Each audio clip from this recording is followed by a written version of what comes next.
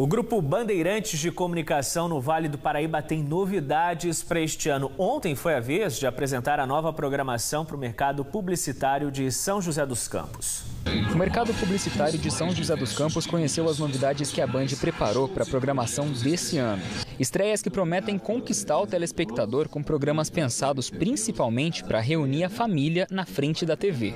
Tradicionalmente presença forte no rádio, o grupo Bandeirantes de Comunicação no Vale do Paraíba também preparou o lançamento de duas novas frequências para chegar em ainda muitos outros lugares. Vamos nos transformar no maior grupo de rádios da região.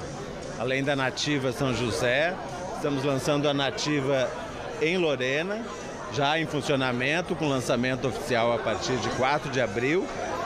E a grande novidade, a primeira afiliada da Rádio Band Vale no litoral, já também em pré-operação, a partir da segunda quinzena de abril entra em funcionamento na tela da TV Band Vale, o público já pode conferir duas novidades que foram lançadas recentemente. O programa Band Entrevista, apresentado pelos jornalistas Cláudio Nicolini e Elcio Costa, vai ao ar todos os domingos, a partir das sete e meia da manhã, e recebe nomes de relevância para a região.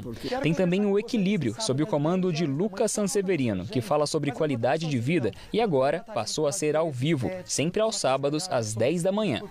O desafio nosso de transferir o programa às 10 horas da manhã, porque antes era às 9, e também fazer ao vivo, é gerar esse envolvimento maior com o telespectador. Aliás, uma das vantagens da televisão hoje em via internet é que a gente pode ter esse contato com uma grande porcentagem de pessoas, mas ao vivo também gera maior envolvimento. Já entre as atrações nacionais estão o Melhor da Tarde com a Kátia Fonseca, além dos programas Amauri Júnior e Cozinha do Borque, que já estão no ar. No mês que vem, a emissora lança o Show do Esporte com Milton Neves e o Agora é com Datena.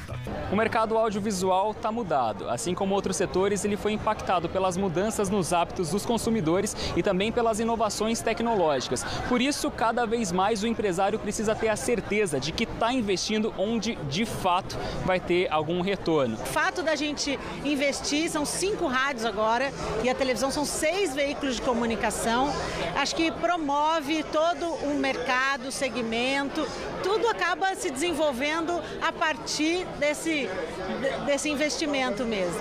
A Band tem uma grande penetração em todo o Vale do Paraíba e Litoral Norte. É um, uma imagem de qualidade, hoje ainda mais com o sinal digital. E essa parceria vem de já vai quase oito anos que a gente está junto com a Bandeirantes e graças a Deus uma parceria de sucesso. A programação regional da Band é muito legal, é muito importante. É importante que as pessoas da nossa cidade possam se ver ali e encontrar os lugares que ela frequenta, os recursos que elas precisam buscar, todos ali. Band Cidade termina aqui, fica agora com Tony Blade e o Vale Urgente. Eu volto na segunda edição do Band Cidade, às 10 para 7 da noite. Uma boa tarde para você.